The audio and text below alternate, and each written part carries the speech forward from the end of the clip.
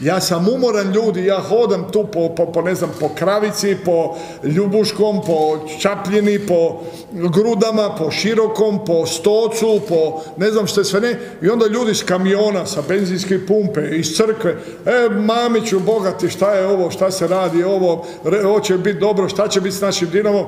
Nemojte me ljudi više pitati, dajte mi vratite identitet, dajte da se, da živim bez ičega, bez, ne, ne, ne mogu to izdržati. Ali mi je žao, ne mogu biti miran i ne mogu gledat kako se uništava ono što smo krvavo sagradili.